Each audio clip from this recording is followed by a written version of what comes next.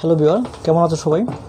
আজকে আমরা দেখব যে প্যাটার্নের যে বিভিন্ন ধরনের দ্বারা বের করতে হয়, অনেক সময় এই দ্বারাগুলো বের করার জন্য আমাদেরকে মেশিন ধরতে হয়। মেশিনটা ধরতে হবে। মেশিন মানে কি? মেশিন বলছিলাম আমরা, এমন একটা জিনিস ধরতে হবে যেন কী কী করা যায়? যেন আমরা দ্বারাটা পাওয়া যায়। তো মেশিনটা ধরার জন্য আমাকে সবসময় একটা বিষয় মাথায় রাখতে হবে যে আমাকে এনের মান ধরতে হবে এবং এনের মানটা সবসময় হবে one two three four dot dot dot. অর্থাৎ এনের ওয়ান থেকে শুরু করে সবগুলো স্বাভাবিক সংখ্যা হতে পারে। এনের বুঝতে হবে আগে। তারপর আমরা মেশিনটা বুঝি। আচ্ছা আমি ধরে নিলাম আমরা প্রথম যে অঙ্কটা, প্রথম অঙ্কটা। সেই প্রথম অঙ্কটার ক্ষেত্রে যদি বলে, তার মেশিনটা বের করো। মেশিনটা বের করা এরকম আসবে না। আমার অঙ্ক করার জন্য আমার মেশিনটা ধরতে হবে। কীভাবে ধরবো? তো সবসময় তুমি এনটা লিখে দিব। এবার দেখো তো এনের মান যদি ওয়ান ধরো, তাহলে মান কত হয়? এক একে এক হয় না? টু ধরলে টু, থ্রি ধরলে থ্রি, ফোর ধরলে ফোর, হয়ে যায় না মেশিন এটা? মেশিন হয়ে যায়। অর্থাৎ আমার ক্রমিক স্বাভাবিক সংখ্যা হলে আমার এন মানে মেশিনটা হচ্ছে এন আর কোনো কিছু করার দরকার হয় না। আশা করি বিষয়টা বোঝা গেছে। এবার, তোমাকে যদি বল, বলা হতো এরকমভাবে যে, ধরো যে একটা সংখ্যা মেশিন সংখ্যা, ধরো আমার এই স্বাভাবিক সংখ্যা ঠিক আছে, প্রশ্নটা এখান থেকে শুরু না হয়ে ধরো আমার শুরু হলো ফাইভ থেকে। ফাইভের পরে কত?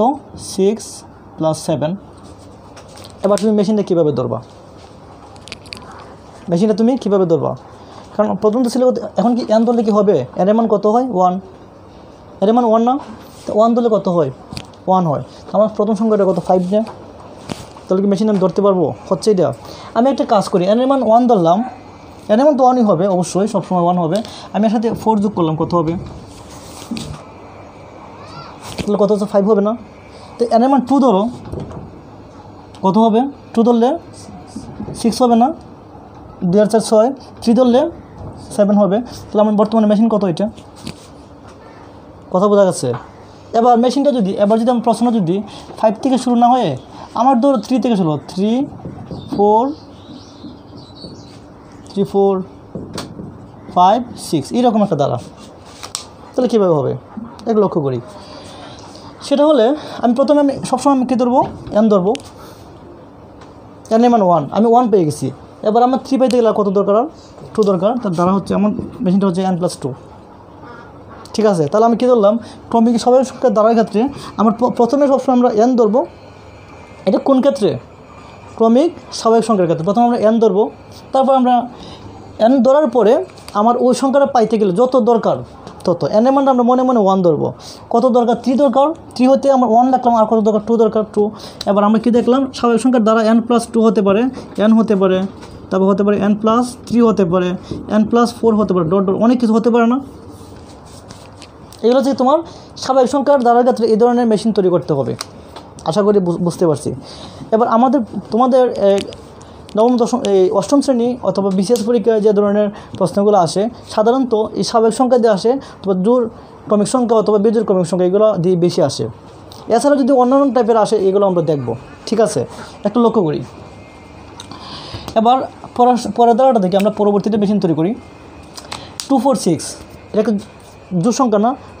জোর ক্রমিক সংখ্যার দ্বারা যদি বা ব্যয় করতে বলে মেশিনটা কীভাবে ধরবো? সেক্ষেত্রে জোর সংখ্যা হলে আমার সবসময় তো এন তো লিখতেই হবে। মেশিন তৈরি করতে এনটা লিখতেই হবে। এবার এনের মান যদি ওয়ান ধরো ওয়ান তো এনের সাথে কত যোগ করলে টু হবে? দুই যোগ করলে, গুণ দিলে, তাহলে দেখো তো টু হয় কিনা। অর্থাৎ জোর সংখ্যার দ্বারা ক্ষেত্রে সবসময় তুমি কী ধরবে? টু এন জোর সংখ্যার ক্রমিক জোর সংখ্যার দ্বারার ক্ষেত্রে মেশিন হচ্ছে টু এন বিষয়টা বোঝা গেছে। এবার তুমি যদি এন এমন ওয়ান ধরো দুই, একে, দুই টু ধরলে দুই দুগুণে চার থ্রি ধরলে তিন তিন দুগুণে ছয়, ঠিক আছে? কিন্তু তোমার দ্বারাটা যদি টু থেকে শুরু না হয়ে যদি এমনটা হতো সিক্স সেভেন এইট থেকে। এখন তুমি কী করতা? বিষয়টা বোঝা গেছে। এরকম যদি হয়, তো তুমি ধরো তুমি এন এন তো তুমি ধরবা। সবসময় তুমি এন ধরবা। ঠিক আছে? এন ধরলা এবং টু এন দূর মানেই তুমি টু এন ধরবা। দূর মানেই কি? টু এন আমি দেখছিলাম কি স্বাভাবিক সংখ্যা সংখ্যার ক্ষেত্রে তুমি প্রথমে এন ধরবা। এন ধরার পর তুমি যোগ মানে যোগ করো, যাই করো, না?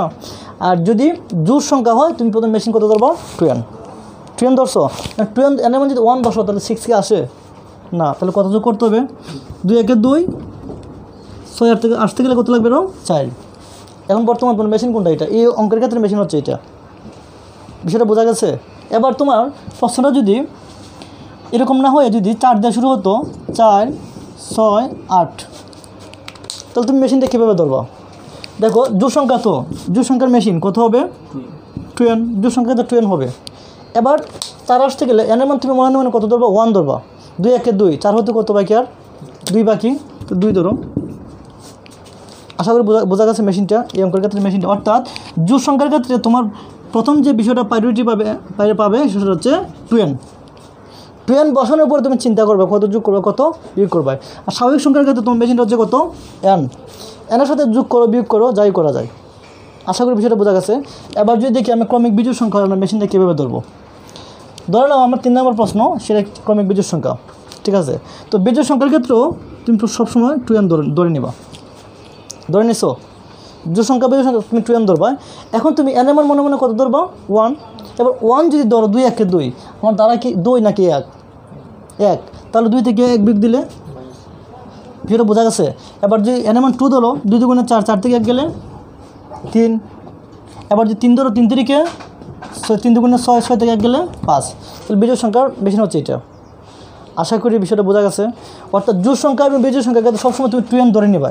ধরার পরে তুমি চিন্তা করবা কত যোগ করতে হবে, কত বিয়োগ করতে হবে।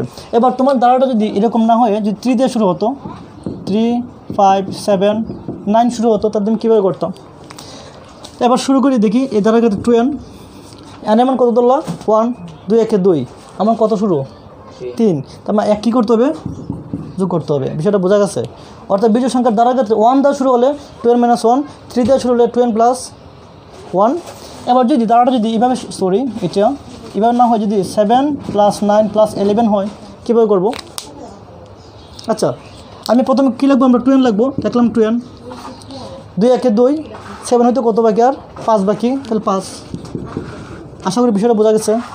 এবার আমরা সবসময় আমার মূল জিনিসটা হচ্ছে কত? টুয়েন। টুয়েন ধরার পরে আমরা হিসাব করব যে আমরা কীভাবে কীভাবে ধরবো।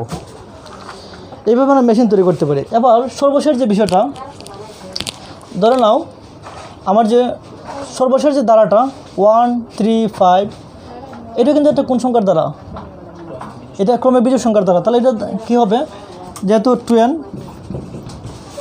টুয়েন তো? টুয়েন। তাহলে এই দ্বার টুয়েন, তারপর আমি কী করতে পারি? ধরে নাও, কী হতে পারে? ওয়ান তো? দুই, একে দুই। আমার কত দরকার? ওয়ান দরকার, দুই থেকে এক বিগ দিলে। এই দ্বারাটা পাই যায় না। এবার বিয়ার এবার আমি দেখলাম স্বাভাবিক সংখ্যা, ক্রমিক জোর সংখ্যা, ক্রমিক বেজোর সংখ্যা। এই ধরনের দ্বারা পরীক্ষা বেশি আসে। এবং ধরলাম। কিন্তু এই ধরনের দ্বারা ছাড়া অন্যান্য দ্বারা তো আসতে পারে। পারে না। দেখি যদি আমরা ক্রমিক জোর সংখ্যা, ক্রমিক জোর সংখ্যা বা বীজের সংখ্যা বা স্বাভাবিক সংখ্যা ছাড়া অন্যান্য ধরনের দ্বারা আসে তাহলে আমরা কীভাবে মেশিনটা ধরবো? তো বিয়ার আমরা কি পাঁচ নম্বর একটা জিনিস দেখলাম যে five plus ten plus fifteen এই যে দ্বারাটা, এই দ্বারাটা কিন্তু ক্রমিক জোর সংখ্যা না। জোর সংখ্যা অবশ্যই না বীজের সংখ্যা তাও না। জোর সংখ্যাও না বীজের সংখ্যাও না। তাহলে কি স্বাভাবিক সংখ্যা? স্বাভাবিক সংখ্যা ঠিক আছে, কিন্তু ক্রমিক স্বাভাবিক সংখ্যা না। তাহলে এই ধরনের দ্বারার ক্ষেত্রে আমরা কীভাবে আমরা কীভাবে আমরা মেশিনটা তৈরি করব? তো সবসময় মনে রাখতে হবে, এটা পাঁচ নাম্বারের অঙ্কের ক্ষেত্রে, আর এটা একসাথে তিন নাম্বার এবং চার নাম্বারের ক্ষেত্রে। তো পাঁচ নাম্বারের ক্ষেত্রে যেটা হচ্ছে, সবসময় মনে রাখতে হবে, আমার মূল জিনিসটা কি এন না? এন তো। এটা হচ্ছে কি যে কোনো দ্বারা যে কোনো দ্বারার ক্ষেত্রে তুমি কীভাবে মেশিনটা ধরবা? তুমি সবসময় কী ধরবা? এন ধরবা। এন ধরলা এর এমন কত? ওয়ান তাহলে এর কত কত পাইলে তুমি? ওয়ান পাইছো না? এর মান ওয়ান মানে কত? তুমি ওয়ান পাইছো, তোমার দরকার কত? ফাইভ তাহলে এমন একটা সংখ্যা ধরি, যে সংখ্যাটা দ্বারা গুণ দিলে ফাইভ হয়, তাহলে ফাইভ যদি ধরি, পাঁচে কে পাঁচ হয় না। এবার এনে মধ্যে টু ধরি, পাঁচ দুগুণে দশ থ্রি ধরলে তিন পাঁচে পনেরো। তখন দাঁড়াটা পেয়ে গেছি মেশিনটা পেয়ে গেছি।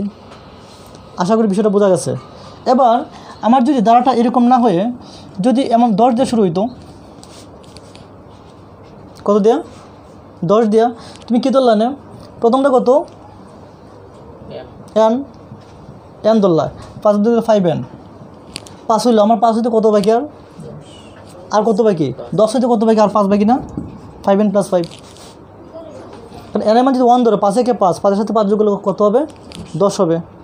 আশা করি বিষয়টা বোঝা গেছে। এবার আবার আরও কিছু ধরনের দ্বারা আছে সেটাও দেখব। ওই ধরনের দ্বারা কীভাবে মেশিন ধরতে হয়? তো বিবার আজকে ক্লাসে আমরা দেখলাম যে আমরা প্যাটার্ন অঙ্ক, যখন যে অঙ্কগুলো করি, সেটা বিসিএস পরীক্ষা হোক বা জব পরীক্ষা হোক বা পিএসসি পরীক্ষা হোক বা জেএসসি পরীক্ষা হোক, যে কোনো অঙ্কের ক্ষেত্রে আমরা যখন আমরা প্যাটার্ন করি, তখন মেশিন ধরতে হয় মেশিনটা কীভাবে ধরতে হয়। তো বিবার যদি ক্লাসটা ভালো লাগে থাকে, অবশ্যই চ্যানেলটা সাবস্ক্রাইব করে রাখেন, পরবর্তী আপডেট পাওয়ার জন্য, এবং বন্ধুদের সাথে শেয়ার করবেন। সবাই ভালো থাকবেন, সেই প্রত্যাশা শেষ করলাম।